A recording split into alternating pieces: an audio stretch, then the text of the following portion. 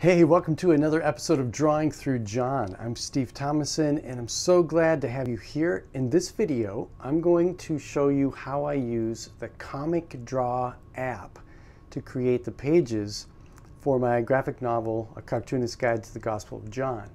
And it's been a couple months since I've done, done an episode in this Drawing Through John series because we've been building this brand new studio. I'm super excited to uh, do this episode here, the first one from my new studio. Super fun. I'm going to sit right here at this drawing table, and on that iPad, I'm going to show you this amazing app called Comic Draw.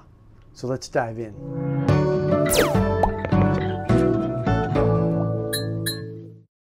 So I'm making these uh, graphic novel pages in an app called Comic Draw. So I'm going to open up Comic Draw and you tap once to open up the file and it gives you options where you can actually preview it, which is pretty cool. It gives you these pages. You can uh, preview the pages that you've got going on. That's really neat. I'm going to close that. Um, if you tap on it once, if you tap it on a, a second time, it will actually open up the document. And you can see there's two parts to it. There's the page itself, and then there's the script. And so what I do is I, I write my script in um, in the Logos software, and then I paste it here into the script feature. Now you can either choose to show just the comic page, you can show just the script by itself, or you can show them side by side. And the cool thing about the script is that it, if you type panel with a colon, it recognizes a new panel. If you do CAP with a colon, it recognizes a new caption. And then any word that has a colon after it it will show up as a word balloon. And you can just drag that and drop it anywhere on the page. It's, it's a really cool feature. So I'm going to delete that. So you've got your script here. And so, so far in the Gospel of John project, I've already mapped out that there's 24 pages. And so you can have multiple pages in one document. So uh, you've got this little index for, so you can uh, go to any page you want. And you can see how the script scrolls along with it. That's pretty cool. So, so far I have completed uh, five pages in total. And I have sketched out all the way through page 12. So you can navigate it through it that way. You can also flip through the pages like this. Um, so let me show you, uh, I'm going to come to this page and show you the different layers. So we've got uh, just kind of an overview of how the Comic Draw app is laid out. There are three basic components to it. The first one is this top layer that is a vector-based layer that allows you to put in the word balloons. And so like I said before, you can take from your script, you can just drag a dialog box, drop it in here. You can manipulate around um, the, the tail.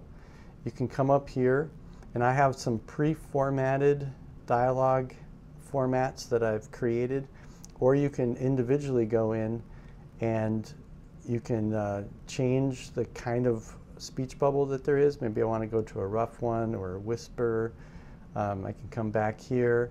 I can change the text. I can, you know, change the font to, uh, you know, there's a bunch of different fonts on here uh, that are preloaded and you can change the size of the font you can change the line spacing you can change the color of the font uh, you can change the justification of the font how it fits in the word balloon the inset margins you got all kinds of tools that you can just uh, modify these fonts now I'm going to go ahead and I'm going to delete that one because I've already laid out this page so that's this top layer where you do all your um, layout with word balloons and text.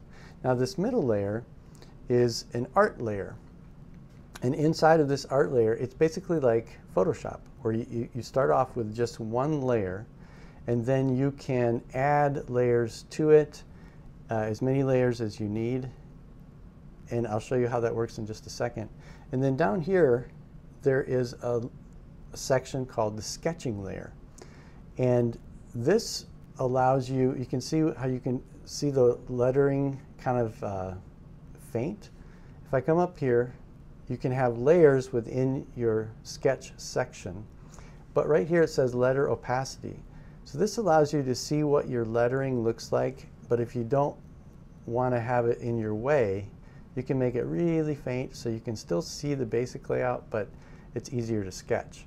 Now what I've done here is I've got uh, two layers going in this sketch space. I've got one that is my panel layout and the other which is the actual uh, sketches. Well actually I have two different sketch layers but you can see I can turn those layers on and off.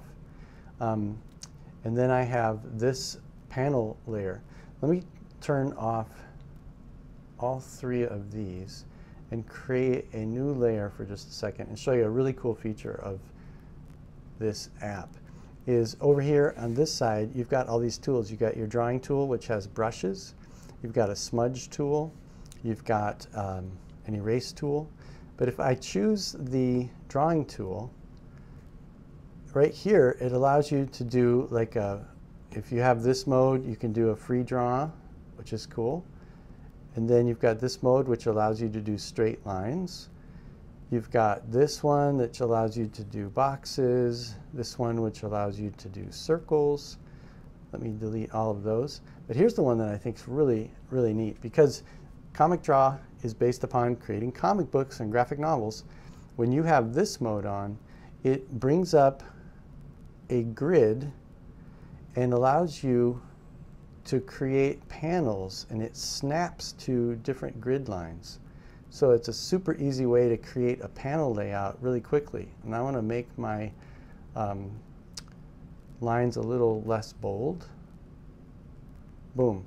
And so I can lay out my panels however I want. And that's what I've done on, I'm going to just delete that layer and reactivate this layer. So you can see I've laid out my panels and then I have done my sketches in here. So if I'm on my sketch layer, let me just show you how this works. I'm going to go back to my free draw and you know you can just sketch away whatever you're drawing which is just really really cool. So let me delete all that because I don't want those sketches in here. Um, snap it and you go back to full mode. So you've got the sketch layer.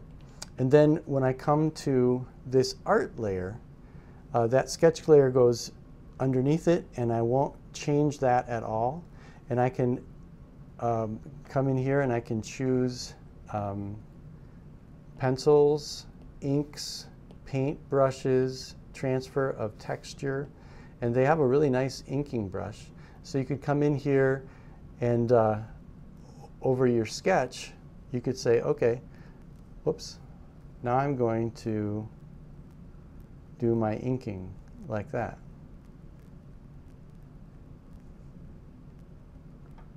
And you go ahead and do the inking. Now, what I have discovered, in, in, in all honesty, when I started this Gospel of John project, I thought I'm going to do all of the artwork completely in Comic Draw app. And I started that way.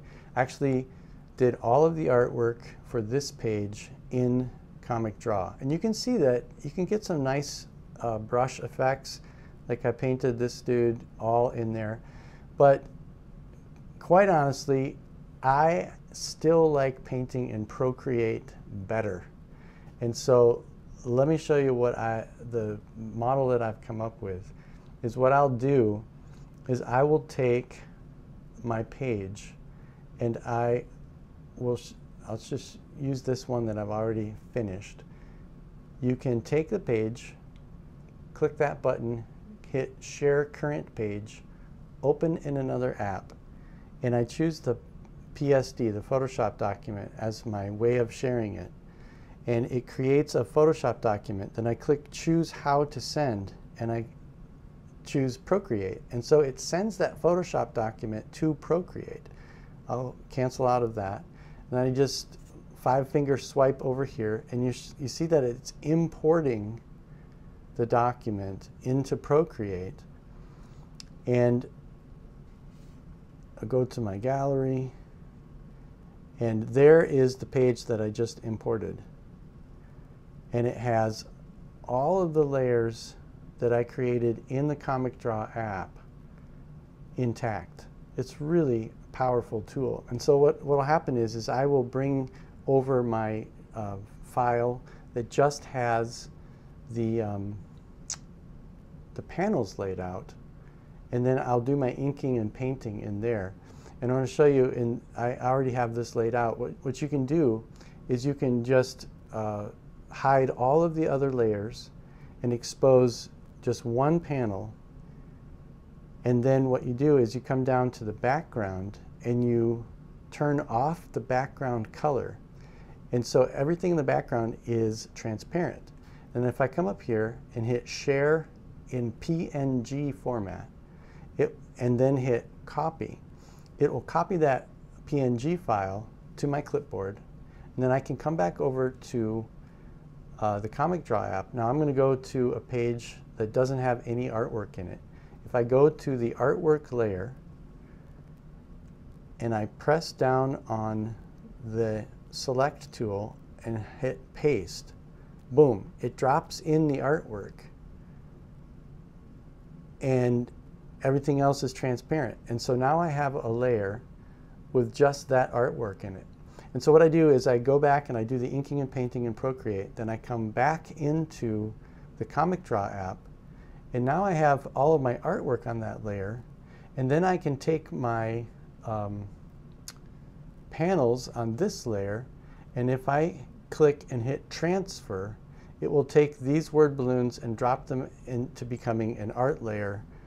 And then I can do something with them in Photoshop later. So that's a pretty cool feature. This is how I am currently using um, the Comic Draw app in conjunction with Procreate to make these pages. Hey, thanks for joining me in this episode of Drawing Through John. I hope you learned something fun about the Comic Draw app, super powerful app, and how you can use it with Procreate, and just the progress that I'm making on this project of a cartoonist guide through the Gospel of John. Stay tuned, subscribe to the channel, get updates for the progress that I'm making. Uh, go to cartoonistbible.com and check out all the pages that have already been made. All of the sketch pages have been posted, and I've completely revamped the website. So you can look at all of the other books of the Bible, the visual guides that are available to lead you through the scripture so that it can make more sense to you, become more accessible to you as I have drawing my way through the scripture. All right, we'll see you next time.